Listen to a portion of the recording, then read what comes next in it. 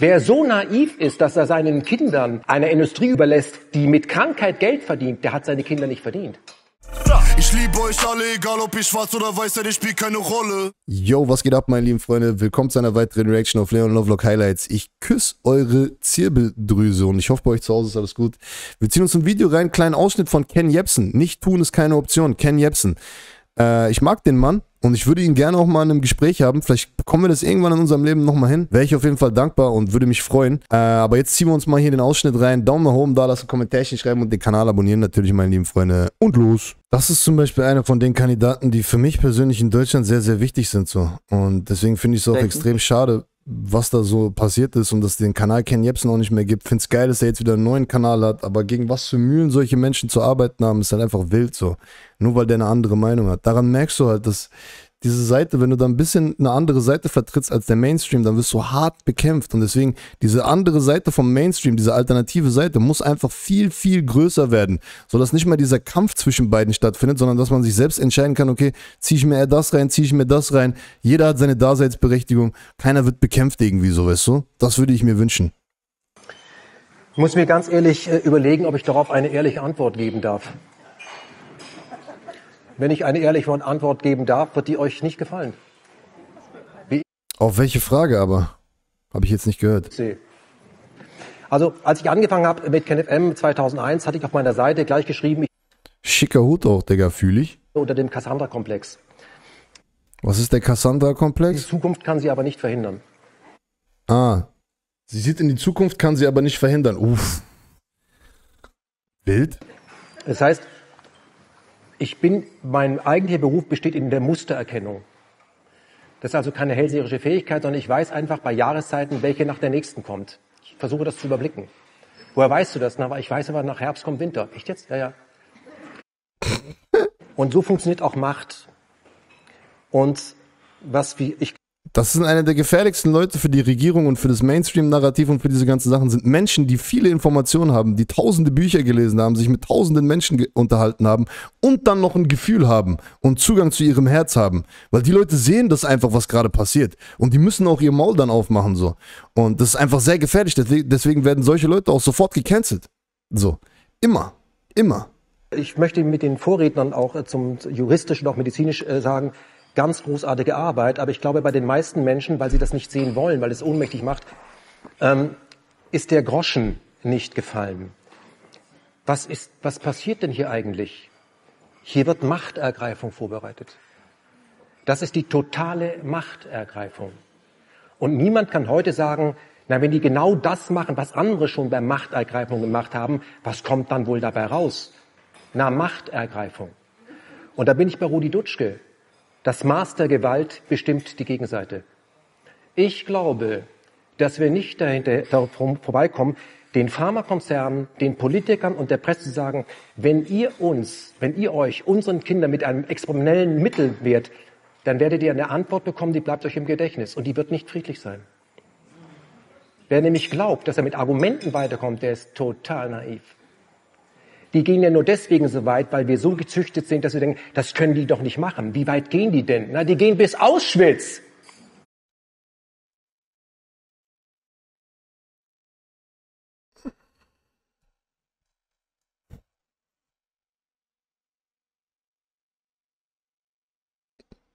Ist so.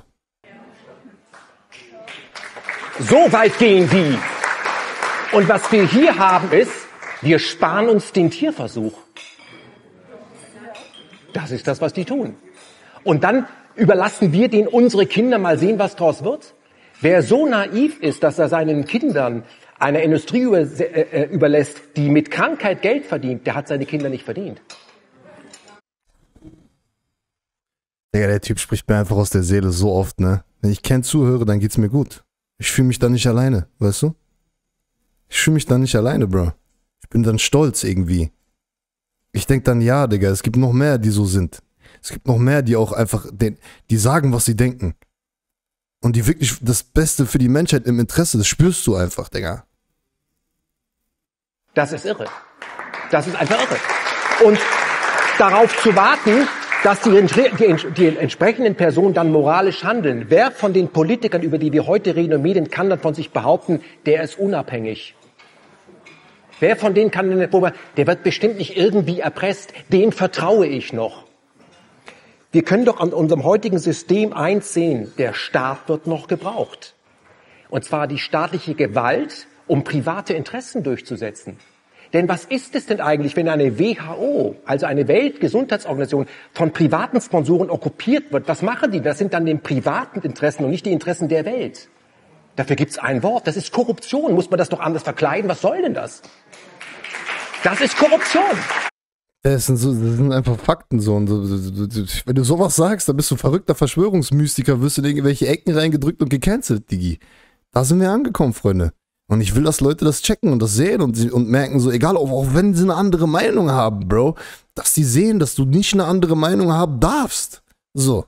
Und das sollte jedem Angst machen. Egal welchem Spektrum du zugeordnet bist, ob du rechts, links, grün, blau, rot, orange, egal was du wählst oder bist oder tust so, wenn wir in eine Gesellschaft kommen, wo du nicht mehr sagen darfst, was du denkst und wo eine Seite komplett ausgeblendet wird, dann sind wir im Faschismus wieder, Dicker. Und da muss sich jeder mal wirklich fragen, gerade jeder deutsche Bürger mal fragen, ob der wirklich da wieder hin möchte. So. Und da müssten wir eigentlich als Volk alle an einem Strang ziehen.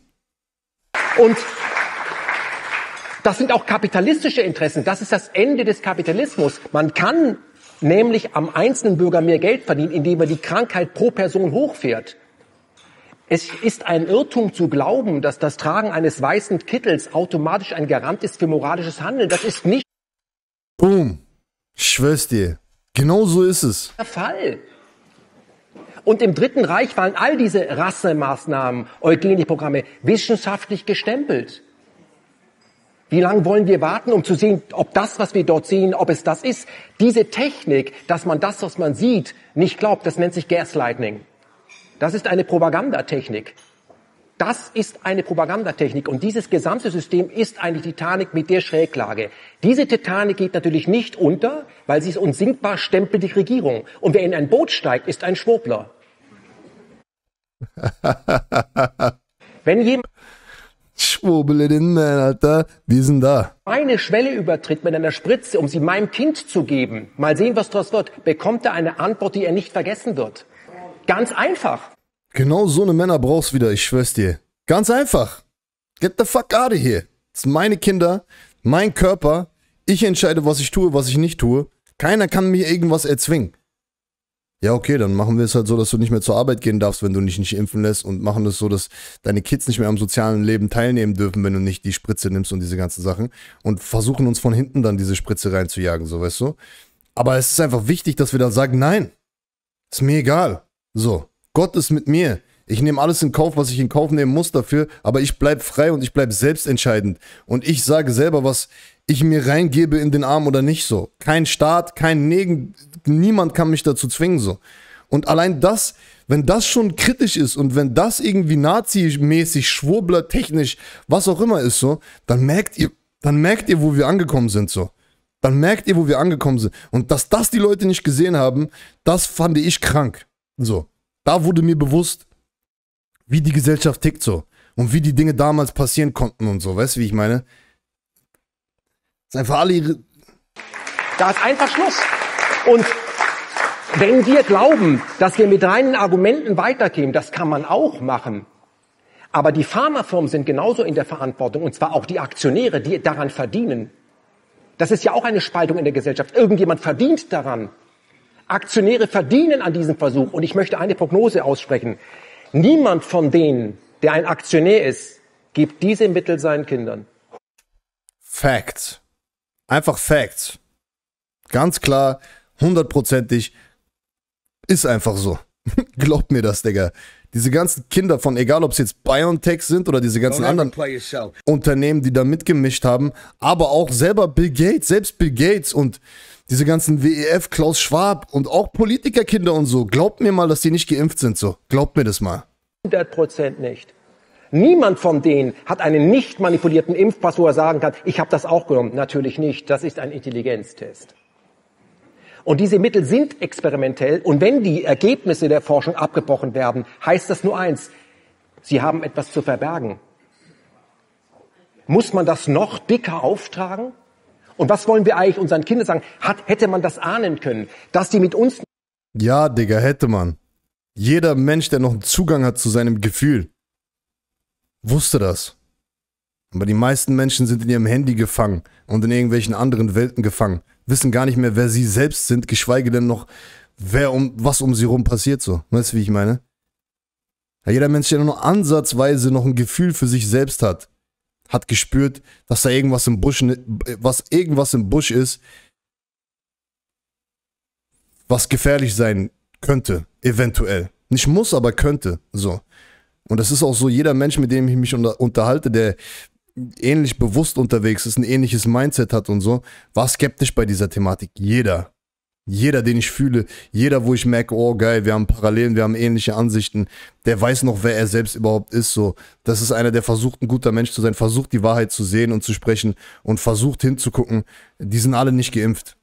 Ich habe da nicht einen, der, ich spüre das, also ich merke das eigentlich sofort, wenn ich mich mit jemandem unterhalte, ob der eventuell geimpft ist oder nicht, Digga. Ist einfach so. sprechen, liegt daran, weil sie mit uns nicht ins Gespräch kommen wollen. Und das ist bei der Justiz genau wie bei der Presse. Das ist eine Verweigerung der eigentlichen Aufgabe. Dann haben sie diese Aufgabe auch nicht mehr verdient. Dann holen wir uns unsere Medien und zurück und wir sollten diese Pharmafirmen besetzen. Was hier stattfindet, ist eine Kriegserklärung gegen die Menschheit. Ist euch das klar? Das ist das, was hier wirklich läuft. Ja? Und wenn die, wenn die üblichen Verdächtigen, die bisher sehen, wie weit sie kommen und sind wahnsinnig weit gekommen, Wir sind mitten im Krieg. Das haben die Leute noch nicht verstanden. Ja, wir haben auch physischen Krieg jetzt gerade auf in vielen Teilen der Welt, aber wir auch. Wir befinden uns mitten in einem Krieg. Jeder von uns. Jeder von uns. Wer das noch nicht verstanden hat, der ist einfach nicht bewusst genug so. Aber es findet ein spiritueller Krieg statt zwischen Gut und Böse. Und der wird immer intensiver und der wird auch immer offensichtlicher. Und manche Menschen brauchen es halt direkt vor ihre Fresse, damit sie sehen und aufwachen so. Aber die Leute, die hinhören und hinsehen, die sehen das, merken das, spüren das. Das ist einfach gerade so. Und deswegen, wir befinden uns in heftigen Zeiten gerade. Wir befinden uns in entscheidenden Zeiten, wie die Zukunft aussieht. Und jeder einzelne von uns trägt da was zu bei. da würde ich mir keine Sorgen machen, weil wir uns wie Schafe benehmen. Ist es wirklich unser Ernst, dass wir erneut nach Corona neue experimentelle Mittel an uns ausprobieren lassen, vielleicht sogar alle paar Jahre und vielleicht nur eine, ein, ein Hinweis, das ist ja organisiert. Diejenigen, zum Beispiel eine Cornelia Beetsch, die für die WHO im Kanzleramt die Pandemieregeln mit durchgeboxt hat und die Verhaltensregeln, sitzt jetzt in einem neuen Institut an der Uni Erfurt für Planetary Health, also Impfung und Klima. Das ist ja komisch, ne? Weil mit dem neuen Klima kommen auch neue Krankheiten und dagegen muss man impfen. Und der Bill Gates sagt das auch. So. Wer hat das bei uns gesagt? Tagesschau im Fernsehen. Mensch, der ist ein Milliardär. Verstehst du? Der Bill. Der Billy Boy. Da müssen wir drauf hören. Hallo, okay? Das ist Korruption. Das ist ein Krieg gegen die Menschheit. Und Demokratie bedeutet, dass jedes Individuum gehört wird. Und Gibt's nicht. Freiheit bedeutet nicht, dass ich machen kann, was ich will, sondern dass ich nicht machen muss, was ich nicht will. Das ist Freiheit. Ich küsse dein Herz. Wer das ganz kurz kassiert, Jeps nicht in Männer, da. wer das ganz kurz kassiert, vorübergehend dauerhaft, ich nenne ihn das, was er, er ist ein Menschenfeind. Das ist ein Menschenfeind. Der behandelt uns wie Maschinen. Ich bin keine Maschine. Und ich werde mich dann zur Wehr setzen. Und wenn ich der Einzige bin, ich werde mir das nicht Bro, ich bin da. Vertrau mir, Digga. Ich weiß nicht, ob ich für meinen Chat reden kann, aber ich bin da, Bruder. Aber sowas mit allem. fallen lassen. Ich werde mich vor meine Kinder Ich bin voll bereit zu sterben. Voll. Aber so richtig, von ganzem Herzen, Digga. Das glaubt ihr mir nicht, ne? Viele Leute labern ja nur irgendwelche Sachen vor sich hin so. Aber ich meine das wirklich ernst. Ich werde mir das nicht gefallen lassen. Ich bin kein Tierversuch. Tut mir leid. Fertig aus, Bro. Fertig aus. Hätte ich dafür kämpfen müssen, dass, wenn die wirklich mit fucking Leuten, bei den Leuten zu Hause reingekommen wären und gesagt hätten, das ist jetzt Impfpflicht und du musst dich jetzt impfen lassen und so, Bro, ich, ich hätte das, ich wäre lieber gestorben. Ganz klar. Hört sich hart an, ist aber so. Ich küsse euer Herz. Wichtige Menschen. So ein Ken Jebsen. Ganz wichtiger Typ, finde ich persönlich so.